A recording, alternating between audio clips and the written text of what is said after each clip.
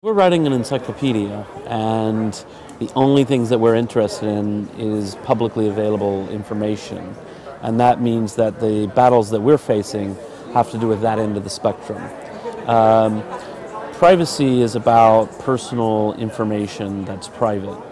For us at Wikipedia, uh, it's an incredibly important value. So, for example, if someone posts a home address or um, you know, private information, we immediately delete it. Thinking about how widely accessible something is is, of course, a valid concern.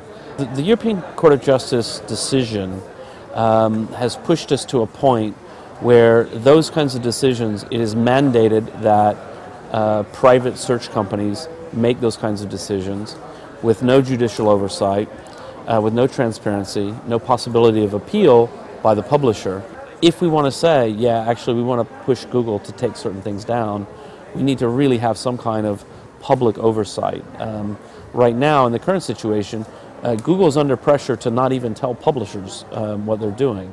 I mean, that's just wrong to, to say you can no longer link to a newspaper, but you can't tell them that you're not doing it. This is what we're really um, all about, is saying, look, we need some transparency in this process, we need judicial oversight. This is tempering with the right of freedom of expression, if we find there are edges that need to be dealt with, we have to be really careful, and we don't do it with a really blunt instrument.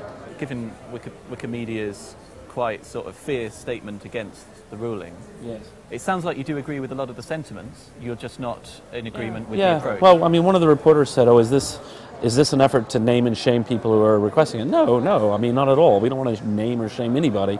We do this reluctantly because we think that the public policy point here is incredibly important that access to newspaper articles, that access to public records um, is a critical um, democratic right, and that if we're going to start tampering with that, we need a lot more serious approach than this.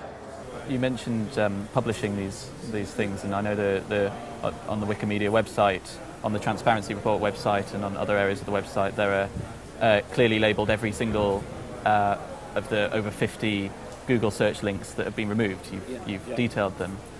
Do you support newspapers then coming along and highlighting specific cases in their articles in a, in a way that does seem a bit more like naming and shaming? Well, if they're naming and shaming, uh, then no. I mean, I, I, think that's just not a, it's just not helpful.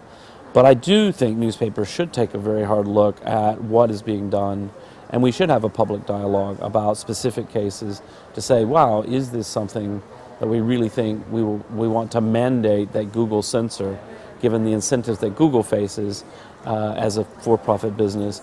Or is this the kind of thing that we should really be approaching in a different way? Do you think that this debate is on a level playing field, given that the media and the data controllers have a clear vested interest in this? It seems to be everyone against the ECJ is, is that fair? Um, yeah.